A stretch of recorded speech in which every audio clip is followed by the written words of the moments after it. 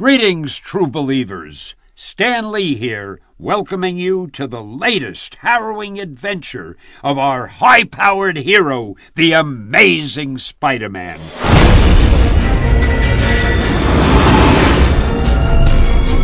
fact that I had something to do with his origin, and that today he's one of the world's most recognizable and popular superheroes, well, as you can imagine, it, it's a great feeling. I've been asked what, what aspects of my character do I see in Spider Man, and I would say his courage, his nobility, his sense of always doing the right thing. I would say the greatness in that man in some way reminds me of me.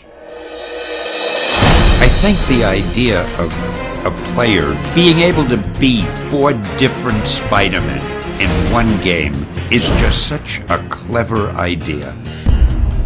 It's like a player having four games in one. He can be four different versions of the same great hero.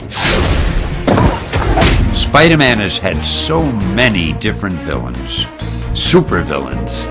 I think one of my favorites has been Kraven the Hunter because he's a little bit different than most other villains, and there's even something likable about him, even though he's a villain. I think probably one of the reasons for Spider Man's enduring popularity is the fact that he's probably the most human of all the superheroes. He has these personal problems, which makes it easy for an audience to relate to him. As Spider Man is sort of the superhero who could be you.